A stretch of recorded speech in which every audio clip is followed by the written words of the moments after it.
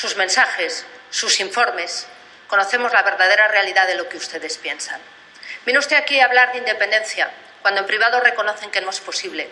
Y eso que estuvieron dispuestos a sacrificar a toda Cataluña, a la economía de Cataluña y al bienestar social de los catalanes por seguir adelante con algo que ustedes pensaban imposible. Tanto cuesta sacrificar un catalán cuando han sacrificado a sus empresas, a sus servicios públicos, a su bienestar, que por cierto está gestionando este Gobierno para el artículo 155. Vienen ustedes a presumir de los votos del independentismo. Leeré una frase textual de su partido.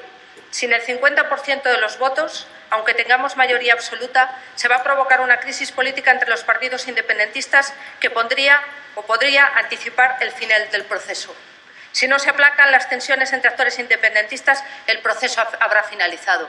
Sí, señor Tardá, porque lo que debe triunfar es la ley y la convivencia, que es el fruto de la ley. Por tanto, señor Tardá, vayan ustedes cerrando escenarios. Por aquí hay escenarios que se han cerrado para siempre.